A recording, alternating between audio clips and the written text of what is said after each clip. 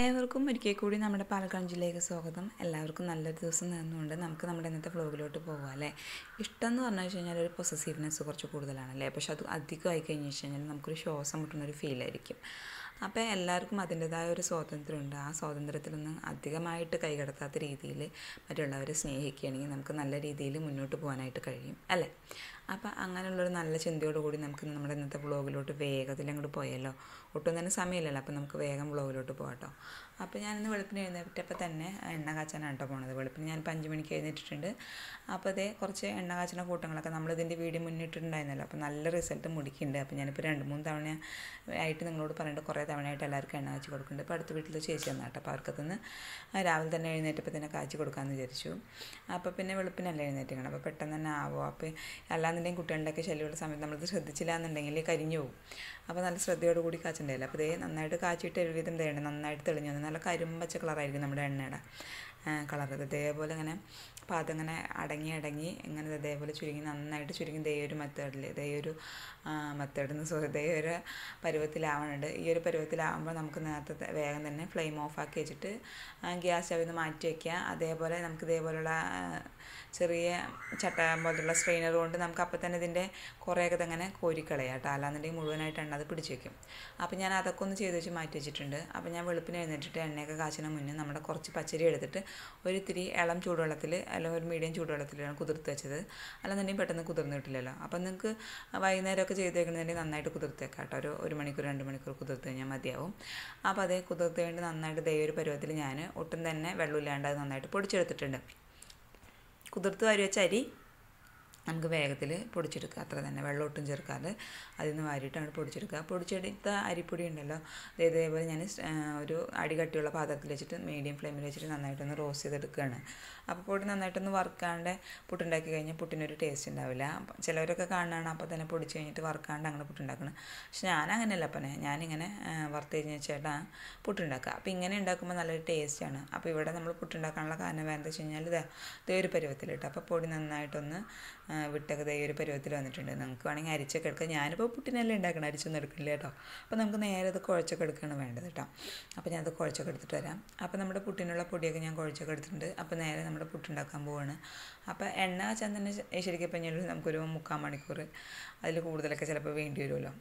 അപ്പോൾ അതും കഴിഞ്ഞ് പുട്ടിന് പൊടി ഉണ്ടാക്കൽ അങ്ങനെയുള്ളതൊക്കെ കഴിഞ്ഞപ്പോൾ ഒരു ഒരുവിധം ഒരു ആറര ആവാറായിട്ടുണ്ട് കേട്ടോ ആ സമയത്താണ് നമ്മൾ പുട്ടുണ്ടാക്കണം അതേപോലെ ചോറിനുള്ള വെള്ളം വെച്ചിട്ടുണ്ട്. അപ്പോൾ രണ്ടും ഒരേ ഇപ്പോൾ നമ്മൾ അന്തം വിട്ട് കൊന്തും പോലെ എന്നിട്ടൊന്നും കാര്യമില്ലല്ലോ. രണ്ടും ഒരേ അടുപ്പിൽ പടപെടാന്ന് അങ്ങോട്ട് ആയിക്കോളുമല്ലോ എന്ന് എഴുതിയിട്ട് വേഗത്തിൽ ഉണ്ടാക്കുകയാണ്. അപ്പോൾ ഞാൻ പുട്ടും കണയിലോട്ട് നമ്മൾ ഈ ഇത് പുട്ടിന്റെ പൊടിയും അതൊക്കെ ചേർക്കുന്ന സമയത്ത് ഇതേപോലെ നമുക്ക് സ്പൂൺ കൊണ്ടാണ് കോരിയെടുക്കണമെങ്കിൽ ഒട്ടും തന്നെ വൃത്തിയിടാവില്ല പുറത്ത് പോകാനുള്ള ടെൻഡൻസി കുറവും കാണിക്കും കേട്ടോ. അപ്പോൾ പുട്ട് നല്ലൊരു ഷേപ്പും കിട്ടും. അപ്പോൾ ഇതൊരു ടിപ്പാണ് ടിപ്പായിട്ട് നിങ്ങൾക്ക് എടുക്കാം കേട്ടോ അപ്പോൾ എല്ലാവരും കൈയും കൊണ്ടൊക്കെ കോരിടുന്ന സമയത്ത് നിലത്തൊക്കെ പോകും അവിടെ ഇവിടെ കായ ആച്ചിൽ പിച്ചിൽ നിന്നാണ് വൃത്തിയിടാം അപ്പോൾ ഇങ്ങനെയാണെങ്കിൽ അങ്ങനെ വൃത്തിയിടുന്നാവില്ല പിന്നെ അപ്പോൾ ഇതേപോലെ ഒന്ന് നിങ്ങൾ ചെയ്ത് നോക്കണേ. അപ്പോൾ ഞാനിത് പുട്ടിലോട്ട് മാവക്കങ്ങൾ നിറച്ച് പുട്ടും കുട്ടിയിലോട്ട് മാവക്കം നിറച്ച് തരികയാണ് അപ്പോൾ നമ്മുടെ പൊടിയുടെ പുട്ടാകുമ്പോൾ നല്ല സോഫ്റ്റ് ആയിരിക്കും കേട്ടോ നല്ല ടേസ്റ്റ് ആയിരിക്കും. നന്നായിട്ട് റോസ്റ്റ് ചെയ്ത് തരത്തില്ല എന്നുണ്ടെങ്കിൽ ഭയങ്കര ഹാർഡും ആയിപ്പോവും അപ്പോൾ പറയുമ്പോൾ നമുക്ക് എല്ലാ കൂട്ടവും പറയണമല്ലോ. അപ്പോൾ നിങ്ങൾ നല്ല സോഫ്റ്റ് ആക്കിയിട്ട് തന്നെ ഇതേപോലെ പൊടിച്ചെടുത്ത് ഇതേപോലെ നന്നായിട്ട് ഒന്ന് വറുത്ത് കൊടുക്കണം നന്നായിട്ട് പൊടി വറുത്തെടുത്തില്ല എന്നുണ്ടെങ്കിൽ ഞാൻ കാണിച്ചെന്നില്ല ആ ഒരു പരുവമ്പര വറുത്തെടുത്തില്ല എന്നുണ്ടെങ്കിൽ പുട്ട് ഹാർഡായി പോവുകയും ചെയ്യും കേട്ടോ. അത് രണ്ടും നിങ്ങൾ ശ്രദ്ധിക്കണേ. അപ്പോൾ ഞാൻ ചോറിനുള്ള വെള്ളവും ചൂടായോ എന്നൊക്കെ നോക്കിയെടുക്കുകയാണ് പെട്ടെന്ന് ആവുമല്ലോ ഈ സംഭവങ്ങളൊക്കെ? അപ്പോൾ അതേ നമ്മുടെ ഒരു പുട്ട് ഇവിടെ റെഡി ആയിരിക്കണം അപ്പോൾ ഞാനൊരു കിണത്തിലോട്ട് നമുക്ക് പകർത്തി കാണിച്ചു തരാം കേട്ടോ നല്ല സോഫ്റ്റാണ് നല്ല ടേസ്റ്റിയാണ് കേട്ടോ അപ്പോൾ ഇവിടെ പാഴരിപ്പുണ്ട്. പാളയംകുളം മഴ അത് തേങ്ങയാണ് കൊത്തിയത് വീണ്. ഞാൻ നിറച്ച് തേങ്ങ ചേർത്തിട്ടുണ്ടായിരുന്നു. അപ്പോൾ തേങ്ങയുള്ളത് കുട്ടികൾക്ക് കൊടുക്കുകയാണെന്നുണ്ടെങ്കിൽ കറി എന്ന് പ്രത്യേകിച്ച് പുട്ടിനുണ്ടാക്കില്ല അതുകൊണ്ടാണ് അപ്പോൾ കുട്ടികൾ കഴിച്ചോളൂ അതിന് വേണ്ടിയിട്ട് കേട്ടോ കണ്ടോ? അപ്പോൾ ഇതേപോലെ നമ്മുടെ പുട്ട് നമുക്ക് ഉണ്ടാക്കിയെടുക്കാനായിട്ട് പറ്റും. അതാണ് ഞാൻ പറഞ്ഞത്. അപ്പോൾ ചോറൊന്ന് തിളച്ചപ്പോൾ ഞാൻ ഇറക്കി മാറ്റി വെച്ചിട്ട് ഞാൻ ആ നേരം കൊണ്ട് നമ്മുടെ മുളക് ഉണ്ടല്ലോ വറ്റൽ മുളകിന്റെ നെട്ടി മുഴുവനായിട്ട് കളഞ്ഞെടുത്തിട്ടുണ്ട്. അപ്പം പുട്ടു ആവണം ചോറാവണം ആ നേരത്തെ ഞാനിത് ചെയ്തെടുത്താണ്. അപ്പോൾ ഇതിന്റെ അല്ലിയാണെങ്കിൽ നമുക്ക് കളയാം. അല്ലി ഇത് കടമ ഇതും കടന്നിട്ട് അങ്ങനെ കരിഞ്ഞ് മുരിഞ്ഞ് പൊടിഞ്ഞ് വരുള്ളൂ. പക്ഷേ ഞാനിപ്പോൾ അത് കളയാൻ മറന്നുപോയി. അപ്പോൾ അത് അതോടെ ഇരിക്കുകയാണ്. അപ്പോൾ നമ്മൾ വറുത്ത് പൊടിക്കുന്ന സമയത്ത് ഈ അല്ലി കളയാം. അല്ലാന്നുണ്ടെങ്കിൽ ഈ അല്ലി അങ്ങോട്ട് കരിയും. അപ്പോൾ നിങ്ങൾ ചോദിക്കും ഇതിനിടെ ഈ വറ്റൽമുളക് ഇങ്ങനെ വറുക്കണം എന്ന് ചോദിക്കില്ലേ? വറ്റൽമുളക് ഇങ്ങനെ വറുത്ത് കഴിഞ്ഞാൽ കുറച്ച് ദിവസം കൂടുതൽ എന്താ പറയുക ഈ പൂപ്പലൊന്നും വരാണ്ടിരിക്കുകയും ചെയ്യും. നല്ലൊരു ടേസ്റ്റും കൂട്ടും നല്ലൊരു മണവും കൂട്ടും നമ്മുടെ ഉപ്പേരിക്കൊക്കെ കേട്ടോ അപ്പോൾ അതിന് വേണ്ടിയാണ് ഇങ്ങനെ വറുത്തെടുക്കുന്നത് അപ്പോൾ വറുത്തെടുക്കുക എന്ന് പറയുമ്പോൾ നമ്മൾ കുറച്ച് നേരം ഇങ്ങനെ ലോ ഫ്ലെയിമിൽ അല്ലെങ്കിൽ മീഡിയം ഫ്ലെയിമിൽ ഇട്ടിട്ട് ഇങ്ങനെ നന്നായിട്ട് ഇളക്കി കൊടുക്കുന്ന സമയത്ത് മുളക് മുളക് ഇങ്ങനെ മുളക് ബ്ലും എന്നൊക്കെ പറഞ്ഞിട്ട് ഇങ്ങനെ പൊന്തി വരും. കണ്ടോ? നന്നായിട്ടൊന്ന് വീർത്ത് തുടങ്ങും. ആ വീർത്ത് തുടങ്ങുന്ന സമയമാകുമ്പോൾ നമുക്ക് ഫ്ലെയിം ഓഫ് ആക്കി വെച്ചിട്ട് മുഴുവനായിട്ടൊന്ന് വീർത്ത് തുടങ്ങുന്ന സമയത്ത് നമുക്ക് ഫ്ലെയിം ഓഫ് ആക്കി വെച്ചിട്ട് ചീഞ്ചട്ടി തന്നെ വെക്കല്ലേ? അത് ഇതേപോലെ എങ്ങനെ പുറത്ത് വെച്ചിട്ടൊന്ന് ചൂടാറാനായിട്ട് വെക്കണം കേട്ടോ. അപ്പോൾ ഞാൻ വേറൊരു തട്ടിലോട്ട് വെച്ചിട്ട് നന്നായിട്ടൊന്ന് ചൂടായി വന്നിട്ട് ചൂടാറി വന്നിട്ടുണ്ട്. ഇനി നമുക്കിതൊന്ന് മിക്സിയുടെ ചാലിട്ടൊന്ന് പൊടിച്ചെടുക്കണം. അപ്പം ഒരുപാടുണ്ട് കുത്തി നിറച്ച് കഴിഞ്ഞാൽ പൊടിക്കുന്ന സമയത്ത് പെട്ടെന്ന് പൊടിഞ്ഞ് കിട്ടില്ല പകുതി പകുതിയാണെങ്കിൽ രണ്ട് ട്രിപ്പ് മൂന്ന് ട്രിപ്പ് കൊണ്ട് നമുക്ക് നന്നായിട്ട് പൊടിച്ചെടുക്കാമല്ലോ അപ്പം നിങ്ങൾ നോർമലി വറുക്കാണ്ട് പൊടിക്കണേലും ഇങ്ങനെ വറുത്ത് പൊടിച്ചിട്ട് നമ്മൾ ഉപ്പേരിയിലൊക്കെ ഉണ്ടാക്കുമ്പോൾ നല്ല ടേസ്റ്റാണ് കേട്ടോ. അപ്പോൾ ഞാൻ കുറേ ദിവസമായി മുളക് ഇരിക്കണം മടിഞ്ഞിരിക്കുകയാണ്. അപ്പോൾ അതേ നമ്മളിങ്ങനെ പൊടിച്ച് പൊടിച്ചെടുത്തുകൊണ്ട് വേണം നന്നായിട്ട് പൊടിഞ്ഞും വന്നിട്ടുണ്ട്. ഒരുപാട് തരികളൊന്നും ഇല്ലാണ്ട് അതേപോലെ പൊടിച്ചെടുക്കാൻ കിട്ടും. ഇനി നമുക്ക് ഇതൊക്കെ എടുത്ത് കുപ്പിയിലോട്ട് മാറ്റി വയ്ക്കാം. ഇനി ബാക്കി പൊടിച്ച കൂട്ടുണ്ടല്ലോ ആ കൂട്ടിലോട്ട് ചെറിയുള്ളിയും വെളുത്തുള്ളിയും ഒക്കെ കൂടി ഇട്ടിട്ട് ഞാൻ നന്നായിട്ട് ചതച്ചിട്ടുണ്ട് അതെന്ന് വെച്ച് കഴിഞ്ഞാൽ കുറേയൊക്കെ ഞാൻ കുപ്പിയിലാക്കി വെച്ചിട്ടുണ്ട് വറ്റൽമുളക് ബാക്കി ഉണ്ടായല്ലോ കുറച്ചുണ്ടാവുമല്ലോ. അത് ഞാൻ ചെറിയുള്ളിയും വെളുത്തുള്ളിയൊക്കെ കൂട്ടിയിട്ട് ഈ ചതച്ച മുളകും കൂടി കൂട്ടിയിട്ട് ഒന്നും കൂടി മിക്സിയിലിട്ട് ഒന്ന് അടിച്ചെടുത്ത്. അപ്പോൾ നന്നായിട്ട് ചതഞ്ഞൊരു പരിപാടിയിലാകുമ്പോൾ ചക്ക ഉപ്പേരിക്കാണെങ്കിൽ പ്രത്യേകിച്ച് ടേസ്റ്റ് കിട്ടും കേട്ടോ അപ്പം നമ്മൾ എണ്ണ ഒഴിച്ച് കൊടുത്തേക്കണ് അപ്പം ഞാൻ ചക്ക അല്ലേ ഇടിഞ്ചക്ക തലേദിവസം തന്നെ നന്നായിട്ട് നന്നായിട്ട് കുനുകുനാന്ന് കുനുകുനാന്ന് അരിഞ്ഞെടുത്ത് കേട്ടോ. അങ്ങനെ കുനുകുനാന്ന് അരിഞ്ഞെടുത്തതിലോട്ട് നന്നായിട്ടൊന്ന് കഴുകിയെടുത്തതിന് ശേഷം ഒരു കാൽ ഗ്ലാസ് വെള്ളം ഒഴിച്ച് ആവശ്യത്തിനുള്ള ഉപ്പിട്ടിട്ട് ഒരു ലോ ഫ്ലെയിമിൽ വെച്ചിട്ടല്ല മീഡിയം ഫ്ലെയിമിൽ വെച്ചിട്ട് രണ്ട് വിസിൽ അടുപ്പിച്ചെടുത്ത്. ലോ ഫ്ലെയിമിൽ വെച്ചിട്ടാണ് നിങ്ങൾ കുക്ക് ചെയ്യണമെന്നുണ്ടെങ്കിൽ നിങ്ങൾ ലോ ഫ്ലെയിമിൽ വെച്ചിട്ട് ഒരു വിസിൽ അടുപ്പിച്ചെടുത്താൽ മതിട്ടാ. അപ്പം തന്നെ ചക്ക അങ്ങോട്ട് വെന്ത് കാലായിട്ട് വന്നോളും.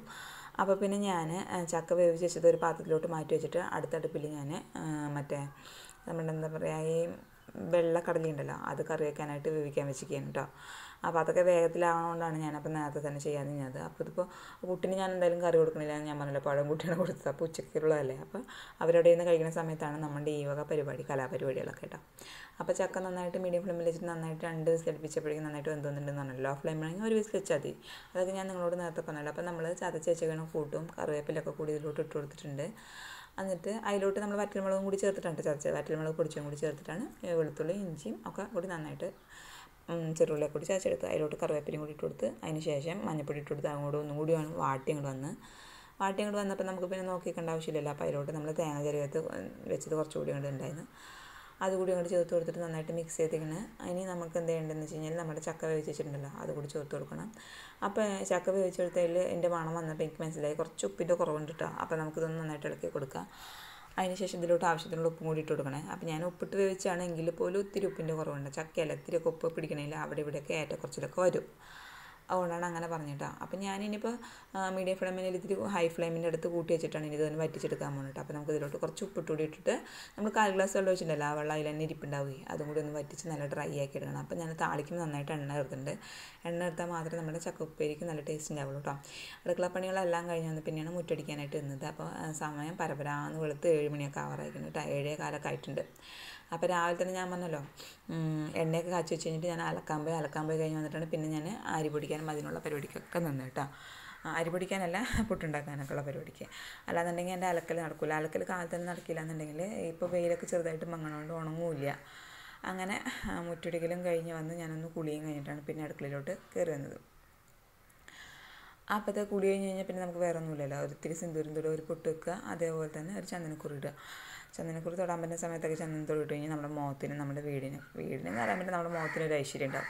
നമ്മൾ കുളിച്ച് കഴിഞ്ഞിട്ട് ഇങ്ങനെ വട്ടപ്പാറ പോലെ നടക്കാണ്ട് ഇത്തിരി ചന്ദനക്കുറിയൊക്കെ തൊട്ട് കഴിയുമ്പോൾ ആ വെള്ളമയം ഒന്ന് നമ്മുടെ മുഖത്തുനിന്ന് പോയി കിട്ടുകയും ചെയ്യും.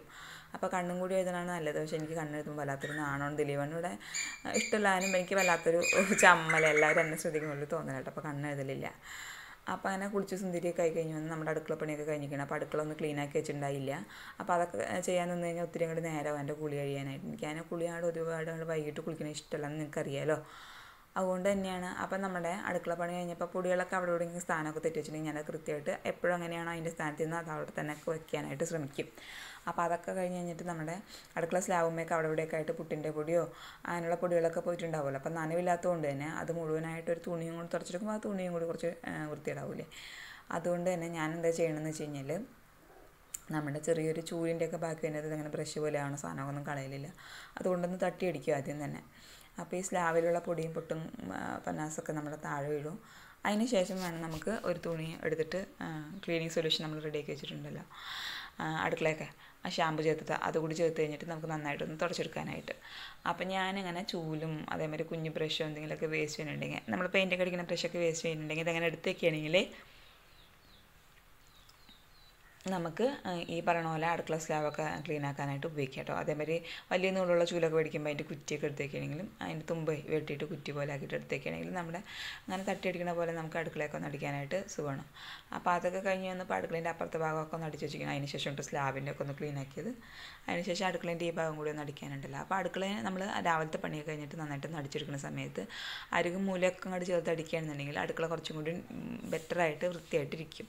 അപ്പോൾ നമ്മുടെ വീടിന്റെ ഏത് കോണാണ് ഏറ്റവും കൂടുതൽ വൃത്തിയായിരിക്കേണ്ടതെന്ന് ചോദിക്കുമ്പോൾ എല്ലാവരും പറയും ബെഡ്റൂം പൂജാമുറി എന്നൊക്കെ പറയും. പൂജാമുറിയൊക്കെ വൃത്തിയായിരിക്കേണ്ട സ്ഥലമാണ്. പക്ഷേങ്കിൽ നമ്മുടെ അടുക്കളയിലാണ് മഹാലക്ഷ്മി അന്നപൂർണേശ്വരി കുടികൊള്ളുന്നത് അപ്പോൾ നമ്മുടെ ഏറ്റവും കൂടുതൽ ഈശാനുകോണം എന്ന് പറയുന്നത് നമ്മുടെ അടുക്കളയാണല്ലോ. അപ്പോൾ നമ്മുടെ ഏറ്റവും കൂടുതൽ നമ്മുടെ വീടിന്റെ വൃത്തിയായിരിക്കേണ്ട ഒരു മൂല എന്ന് പറയുന്നത് നമ്മുടെ അടുക്കള തന്നെയാണ്. അപ്പോൾ ഞാൻ അടുക്കളേന്റെ എല്ലാ മൂലയും ചേർത്തടിച്ചിരിക്കുന്നത് അപ്പോൾ അവിടെ ഇവിടെയും പൊടിയും പൊട്ടൊക്കെ നമ്മൾ പാചകം ചെയ്യുമ്പോൾ നമ്മൾ സൂപ്പർമാൻ എന്നല്ലല്ലോ. അവിടെ ഇവിടെയൊക്കെ തിരിയായിട്ട് ചിന്നിച്ചതിരെയൊക്കെ പോകും അത് മുഴുവനായിട്ട് അടിച്ചെടുക്കലാണ് നമ്മുടെ മെയിനായിട്ടുള്ള പണി. അതിനുശേഷം അടുക്കള ഒന്ന് തുടച്ചെടുത്ത് കഴിഞ്ഞാൽ നമ്മുടെ വീട്ടിലത്തെ എല്ലാ നമ്മുടെ രാവിലത്തുള്ള എല്ലാ പണിയും കഴിഞ്ഞു. പിന്നെ ഒത്തിരി നേരം അടുക്കള അങ്ങോട്ട് വെറുതെ ഉറങ്ങിയ പോലെ ഇരിക്കേണ്ടതാണ്. അപ്പോൾ ഉറങ്ങിയ പോലെ ഇരിക്കുമ്പോൾ നല്ല ഫ്രീ ആയിട്ട് നല്ല ഫ്രഷ് ആയിട്ടിരിക്കുമ്പോൾ അടുക്കളയ്ക്കും കൂടിയും കുറച്ച് പുതിയ എനർജി കിട്ടുകയും ചെയ്യും. നമുക്ക് ദാരിദ്ര്യത്തിന് എത്ര തന്നെ നമ്മൾ കഷ്ടപ്പാടാണെന്ന് വെച്ചാൽ അന്നത്തിന് മുട്ട് വരില്ല എന്നാണ് പണ്ടുള്ള നമ്മുടെ പഴമക്കാരൊക്കെ പറയണത്. എന്റെ മുത്തശ്ശനൊക്കെ അങ്ങനെയാട്ടോ പറഞ്ഞിരിക്കുന്നത് അപ്പോൾ അതാണ് എന്റെ വിശ്വാസം. സത്യം പറഞ്ഞു വെച്ചാൽ നമ്മൾ നോക്കി വരുമ്പോൾ അത് തന്നെയാണ് ശരിയെന്ന് എനിക്ക് പലപ്പോഴായിട്ട് തോന്നിയിട്ടുണ്ട്. അപ്പോൾ നിങ്ങൾ പറ്റുകയാണെങ്കിൽ അടുക്കള ഇതേപോലെ എല്ലാ പണിയും കഴിയുമ്പോൾ നന്നായിട്ടൊന്ന് അടിച്ച് ക്ലീൻ ആക്കിയിട്ട് വെക്കാനായിട്ട് മറക്കരുത് കേട്ടോ അപ്പോൾ അത് കഴിഞ്ഞിട്ട് ഒരു കൂട്ടർക്ക് എണ്ണയൊക്കെ കാച്ചി കഴിഞ്ഞപ്പോൾ അടുത്ത കൂട്ടർ ഇവിടെ അടുത്തുള്ള സീമ എന്ന് പറഞ്ഞ ചേച്ചി കുറച്ചും കൂടി എണ്ണ കാച്ചാനായിട്ട് കൊണ്ടുതന്നിട്ടുണ്ട് അപ്പോൾ നോ എന്ന് ഞാൻ പറയില്ല അപ്പോൾ അവർക്കും കൂടി ചെയ്ത് കൊടുക്കണം എന്ന് വിചാരിച്ചിരുന്നപ്പോഴേക്കും നമ്മുടെ തക്കുടുവില്ലേ പ്രേതത്തിന്റെ മുഖം മൂടി എടുത്തുകൊണ്ട് തന്നെ പേടിപ്പിച്ചാണ്. നമ്മളുണ്ടാ പേടിക്കണല്ലേ പ്രയത്നം കണ്ടവരെ പേടിക്കില്ല നമ്മൾ പിന്നെ അത് ചുമ്മാ തള്ളിതാട്ടോ അത് കഴിഞ്ഞിട്ട് നമ്മുടെ ക്ലീനിങ് സൊല്യൂഷൻ എടുത്തിട്ട് നമ്മുടെ ഗ്യാസ് സ്റ്റൗവൊക്കെ ഗ്യാസ് സ്റ്റൗവിന്റെ ഭാഗവും നമ്മുടെ എന്താ പറയുക സ്ലാബിന്റെ ഭാഗമൊക്കെ നന്നായിട്ടൊന്ന് തുടച്ചെടുക്കുക. അതിന് ശേഷം വേണം നമ്മൾ ഉള്ളൊക്കെ ഒന്ന് തുടച്ചെടുക്കാനായിട്ട്. ഇതിപ്പോൾ എല്ലാ ദിവസവും നമ്മൾ കാണിക്കാത്ത എന്താണെന്ന് വെച്ചാൽ എല്ലാ ദിവസവും നമ്മൾ നമ്മുടെ ഈ റൊട്ടീന്റെ ഭാഗമായിട്ട് ഇത് നമ്മൾ എല്ലാ ദിവസവും നമ്മൾ ചെയ്തുകൊണ്ടുണ്ട് അപ്പോൾ ചില ദിവസങ്ങൾ കാണിക്കാൻ വിട്ടിട്ടുണ്ട് നിങ്ങൾ പറയരുത്. ഇത് അന്ന് കാണിച്ചില്ലല്ലോ എന്ന് പറയരുത് കേട്ടോ നമ്മൾ എല്ലാ ദിവസവും ഒരേ സീനൊക്കെ കാണിച്ച് നിങ്ങളെ ബോറടിപ്പിക്കണ്ടല്ലോ എന്ന് എഴുതിയിട്ടല്ലേ അപ്പോൾ അങ്ങനെയൊക്കെ മനസ്സിലാക്കാനുള്ള കഴിവുള്ളവരല്ലേ നിങ്ങൾ മിടുക്ക കുട്ടികളല്ലേ മിടുക്കന്മാരൊക്കെ അല്ലേ അതുകൊണ്ട് വീണ്ടും ഒന്ന് കാണിച്ചത് അപ്പോൾ നമ്മൾ അടുക്കള പണിയൊക്കെ കഴിഞ്ഞ് നമ്മൾ പുറത്ത് പോകണം പിന്നെ അടുക്കള സ്ലാബൊക്കെ നന്നായിട്ട് തുടച്ചെടുക്കണം എന്നിട്ട് ആ എന്താണ് നമ്മുടെ എന്താ പറയുക നമ്മുടെ സിങ്കിന്റെ ഭാഗം മാത്രമാണ് നമ്മൾ അങ്ങോട്ട് തുടച്ചെടുത്തിട്ടില്ല. കാരണം വെച്ചാൽ കുറച്ച് പാത്രങ്ങൾ രാവിലെ പെരുമാറിയ. ഇവർക്ക് ചായ കൊടുത്തു നമ്മൾ ചോറ് വെച്ച് ചോറ് വാർത്തത് അങ്ങനെയുള്ള കുറേ പാത്രങ്ങൾ ഇരിപ്പുണ്ടാവും. അപ്പോൾ അതൊക്കെ ഒന്ന് കഴുകിയ ശേഷം മാത്രം സ്ലാബിന്റെ മടക്കണേന്റെ സിങ്കിന്റെ സ്ലാബ് തുടയ്ക്കാൻ എഴുതിയിട്ട് അത് മുഴുവനായിട്ട് സോപ്പിട്ട് എടുത്തിട്ടുണ്ട്. നമ്മൾ പറഞ്ഞല്ലോ വേസ്റ്റ് മുഴുവനായിട്ട് ഒരു വേസ്റ്റ് ബക്കറ്റ് വെച്ചിട്ട് അതിലോട്ട് ഇട്ടേക്കണെങ്കിൽ അത് ദിവസവും തന്നെ വേസ്റ്റ് ബക്കറ്റ് ക്ലീൻ ആക്കി എടുക്കണം കേട്ടോ. അല്ലാന്നുണ്ടെങ്കിൽ അപ്പാടി ഈച്ചരി ഇരിക്കും. അപ്പോൾ ഈച്ചിരുന്ന് കഴിഞ്ഞാൽ ആകെ വൃത്തികേടായിരിക്കും എന്ന് പറഞ്ഞല്ലോ. അപ്പോൾ ഇന്നലെ ചക്ക അരിഞ്ഞുകൊണ്ട് കത്തിയിൽ നന്നായിട്ട് പശപ്പുണ്ട് കേട്ടോ. അതൊന്ന് കാച്ചെടുത്താൽ മതി എന്നുള്ള ബോധം ഉണ്ടായില്ല. പെട്ടെന്ന് തന്നെ വെള്ളം ഒഴിച്ചിട്ട് കഴുകാൻ നോക്കി. പക്ഷേ പോയില്ല. പിന്നെ എന്ത് ചെയ്യണം? അതൊന്ന് കഴുകിയ സ്ഥിതിക്ക് അത് കഴുകാൻ പക്കം കഴുകിയെടുക്കണമല്ലോ. അങ്ങനെ കഴുകിയെടുത്തതിന് ശേഷം ഇനി ഞാൻ എന്ത് ചെയ്യുന്ന അറിയുമ്പോൾ ഗ്യാസ് സ്റ്റവ് നന്നായിട്ട് തീയൊന്ന് കച്ചിട്ട് ചൂടാക്കിയിട്ട് ചൂടോടുകൂടി ആകുമ്പോൾ ആ പശ അങ്ങോട്ട് ഉരുക്കി വരുമല്ലോ. ആ ഉരുക്കി വരുന്നത് നല്ല പേപ്പർ എന്തെങ്കിലും കൊണ്ട് തുടച്ചെടുത്തതിന് ശേഷം പിന്നെ എണ്ണ ഇട്ട് തുടച്ചെടുത്ത് കഴിഞ്ഞാൽ കത്തി ക്ലീൻ ആവുമേ അത് മറന്നുപോയ ശേഷമാണ് ഇപ്പം ഇങ്ങനെ ചെയ്തത്. അപ്പോൾ ഏതൊരു പോലീസുകാരനും ഒരു മറി വരുമല്ലോ. പിന്നെയാണ് ഈ നല്ലൊരു സാധാരണ വീട്ടമ്മയായിട്ടുള്ള എനിക്ക് മറി വരാണ്ടിരിക്കുകയല്ലേ അപ്പം നിങ്ങൾക്ക് എല്ലാവർക്കും സുഖമല്ലേ? അതിടയ്ക്ക് ചോദിച്ചില്ല അങ്ങനെ വല്ലാത്തൊരു വിഷമമാണ് കേട്ടോ. അപ്പോൾ എല്ലാവർക്കും സുഖമായിരിക്കണം ഹാപ്പി ആയിരിക്കണം എന്ന് വിശ്വസിക്കുകയാണ്. അപ്പോൾ കൊറോണയൊക്കെ മാറുന്നുണ്ട് എല്ലാവരും അച്ചാൽ വെച്ചാൽ നടക്കണം. എങ്കിലും നമ്മുടെ സേഫ്റ്റി നമ്മൾ എന്തായാലും ശ്രദ്ധിക്കാണ്ടിരിക്കാൻ പറ്റില്ല കേട്ടോ. അപ്പോൾ പകലൊക്കെ ഞാൻ പാത്രമൊക്കെ കഴുകി വെച്ച് കഴിഞ്ഞാൽ ഞാൻ പറഞ്ഞല്ലോ കിണറ്റിന്റെ വക്കത്ത് കൊണ്ട് വെച്ചിട്ട് കമഴ്ത്തി വയ്ക്കും സ്ലാ നമ്മുടെ ടാങ്കിന്റെ വക്കത്ത് കമഴ്ത്തി വയ്ക്കുമ്പോൾ അടുക്കളേന്റെ സ്ലാബ് വൃത്തിയിടാവില്ല താനും. കുറച്ച് നേരം ആകുമ്പോഴേക്കും ആ ചൂടൊക്കെ തട്ടിയിട്ട് നന്നായിട്ട് ഡ്രൈ ആയിട്ട് പാത്രങ്ങൾ കിട്ടുകയും ചെയ്യും. അപ്പോൾ അങ്ങനെ കമഴ്ത്തി വയ്ക്കുമ്പോൾ സെപ്പറേറ്റ് ആയിട്ട് സെപ്പറേറ്റ് ആയിട്ട് കമഴ്ത്തി വയ്ക്കുന്നതുകൊണ്ട് പെട്ടെന്ന് തന്നെ എല്ലാം ഉണങ്ങിയും കിട്ടും കേട്ടോ. അപ്പോൾ പാത്രമൊക്കെ കഴുകി കഴിഞ്ഞു. ഇനി ജസ്റ്റ് ഒന്ന് നമ്മുടെ സിങ്ക് ഒന്ന് കഴുകിയെടുക്കുക അപ്പോൾ സിങ്ക് നമ്മൾ നേരം തന്നെ പിന്നെ വൈകുന്നേരമൊക്കെ നന്നായിട്ട് കഴുകിയൊക്കെ എടുക്കുന്നതുകൊണ്ട് നമ്മുടെ സിങ്കിൽ അധികം അങ്ങോട്ട് വൃത്തികേട് ഉണ്ടാവില്ല കേട്ടോ. എങ്കിലും നമ്മൾ ഒരുപാട് പാത്രം ഇട്ട് വെച്ചിട്ട് കഴുകി വയ്ക്കുന്ന സമയത്ത് വെറുതെ ഒന്ന് സിങ്ക് കഴുകി വയ്ക്കണമെങ്കിൽ കുറച്ചും കൂടി ബെറ്റർ ആയിട്ട് നമ്മുടെ സിങ്ക് ഇരിക്കുന്നതിനും. അപ്പോൾ അതിന് വേണ്ടിയിട്ട് ഞാൻ വേഗം തന്നെ സിങ്കൊക്കെ ഇങ്ങോട്ട് കഴുകി വെച്ചിട്ടുണ്ട്. സിങ്ക് കഴുകി കഴിഞ്ഞ് കഴിഞ്ഞാൽ സിങ്കിന്റെ സൈഡൊക്കെ വെള്ളം പോയിട്ടുണ്ടാവുമല്ലോ. അപ്പോൾ നമ്മൾ സ്ലാബൊക്കെ തുടച്ച് വെച്ചിട്ട് സിങ്ക് മാത്രം തുടച്ചില്ല എന്നുണ്ടെങ്കിൽ സിങ്കിന്റെ വക്കുള്ള ഭാഗമൊക്കെ ഒന്ന് തുടച്ചില്ല എന്നുണ്ടെങ്കിൽ ഒരു വൃത്തിയായിട്ട് തോന്നൂലല്ലോ. അപ്പോൾ ഞാൻ വേഗം സിങ്കിന്റെ സൈഡൊക്കെ വെള്ളം പോയിട്ടുണ്ടാവുമല്ലോ.